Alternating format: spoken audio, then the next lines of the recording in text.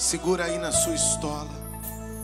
Foi assim que Davi entrou no templo, quando ele estava desesperado para resolver um problema.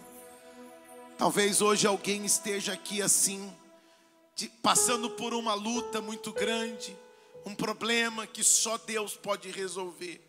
Coloque a mão em cima do seu coraçãozinho, feche os seus olhos e põe seu pensamento lá no céu. E fale com Deus, converse com Ele, do seu jeito, da sua maneira. E fale para Ele: tem misericórdia de mim, Senhor, porque eu preciso dos teus milagres, eu preciso da tua resposta, porque eu sei que não há outro que possa livrar, curar, senão o Senhor. Toca, meu Deus, na vida daqueles que entraram aqui, que estão passando por um problema de saúde, que estão lutando contra um câncer, que estão lutando contra uma doença degenerativa. Toca, Senhor, aonde o remédio, o médico não pode tocar e faz o milagre e restaura a sorte, a saúde. Toca, meu Pai, com teu poder na vida econômica, financeira, para tirar da vida dessa pessoa tudo aquilo que está dando errado, todas as portas que têm estado fechadas. Por mais que ela lute, parece que ela dá um passo para frente, depois cinco, seis para trás. Muda a sorte, como o Senhor mudou a de Jó. Fale com Deus, igreja, porque Deus escuta a sua oração. Clame a Ele, consulte o Deus Todo-Poderoso. Sim, meu Deus, nos apresentamos diante de Ti, Pai, e clamamos pelo Teu favor. Estamos te consultando, porque o Senhor é o Deus que conhece o amanhã.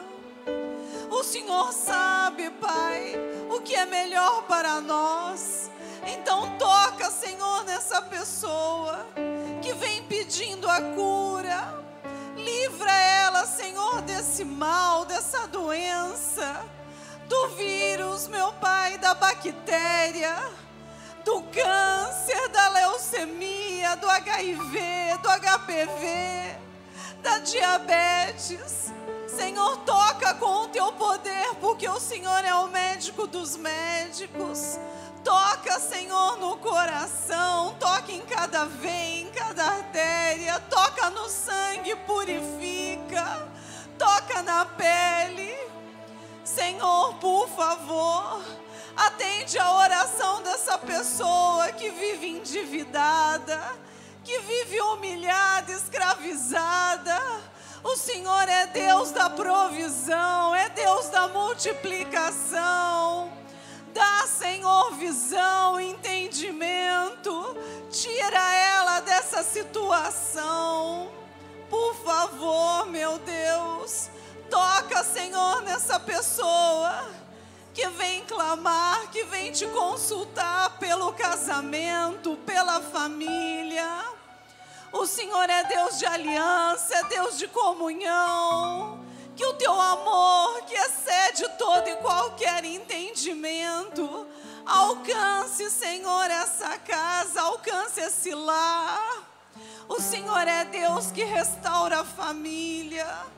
Por favor, Senhor, seja qual for a dificuldade do teu povo, o Senhor é o Deus da solução, é o Deus da resposta. O Senhor é o Deus Todo-Poderoso. Então responde, Senhor, à tua igreja. Responde ao teu povo, Pai, porque o Senhor é a nossa esperança.